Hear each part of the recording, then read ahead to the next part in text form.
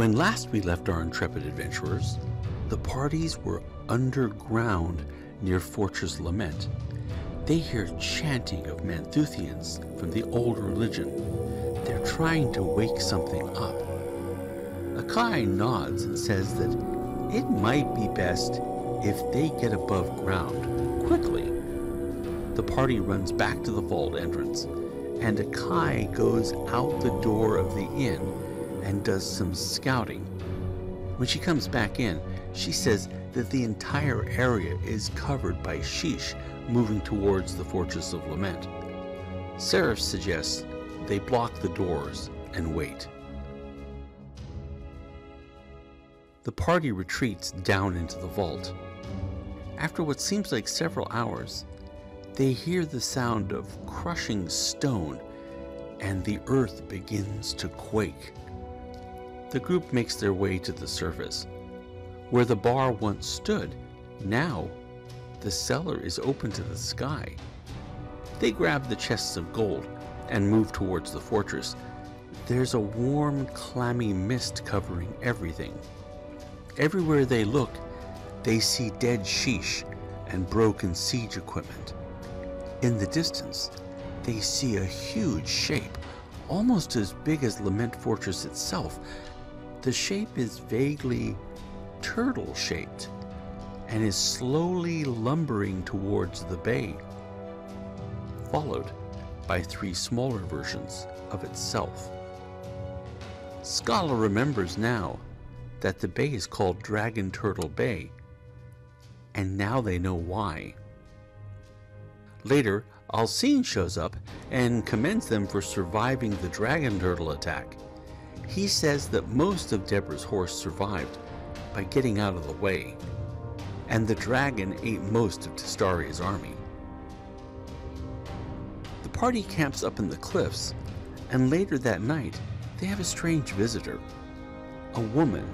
She's ancient, and she wears seashells and kelp for hair.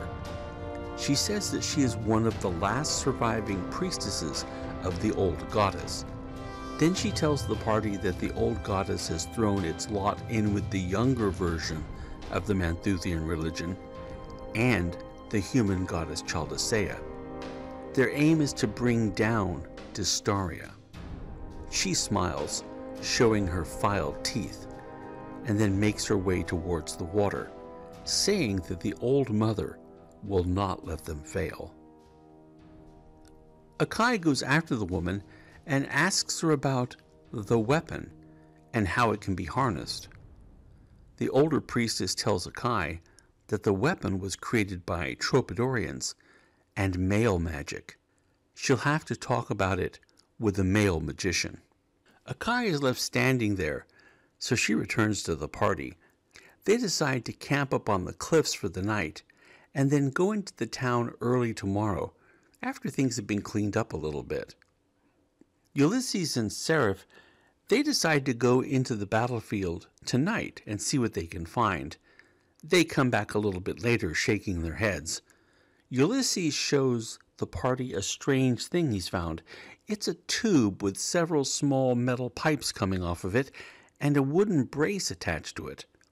None of the party knows what it is, except for Australia. She explains that it's called a bull roarer, or in Desirata, they're known as arms.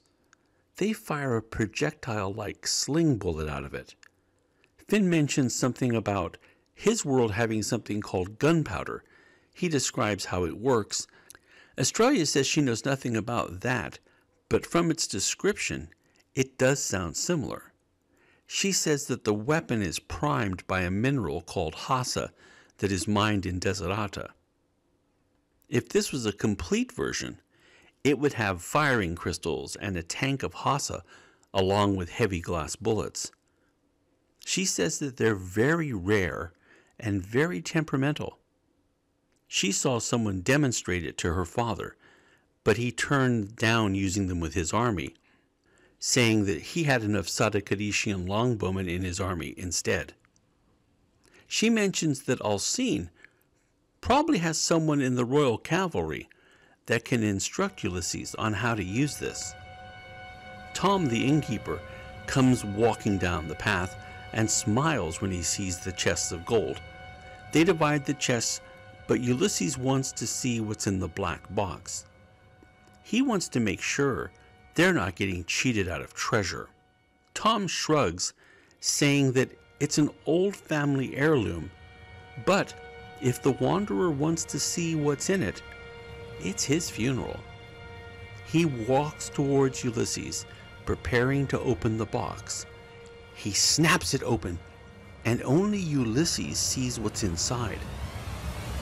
And then he starts screaming.